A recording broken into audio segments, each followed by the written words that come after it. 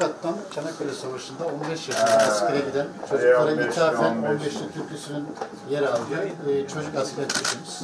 O zamanki kıyafetler efendim çocuk askeri canlandırıyor.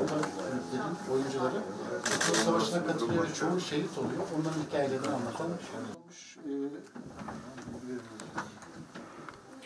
sıkıştırılmış şeyden e, güllü olarak kullanılmış efendim. Biraz ağır.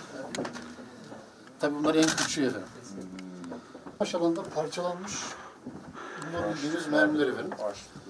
Bu parçalanmış mermilerden şarapnel dediğimiz parçalar. Yeşiller milletvekillerine o zamanki Gazi Meclis'ten dolayı kırmızı ve yeşillerde hem savaşan hem milletvekili olan Atatürk ve İnönü gibi.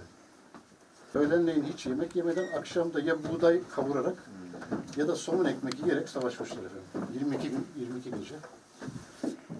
Efendim. Ayrıca e, Türk askeri sayesinde Kore Savaşı'nın seyri değiştiği için bugün bir sınırımız varsa size borçluyuz diye Kuzey Kore ile Güney Kore'nin arasındaki 50. paraleli e, ifade eden sınır telinden bir parça kesip Türkiye'deki derneklere hediye ettiler. Başka hiçbir ülkeye bunu yapmadılar.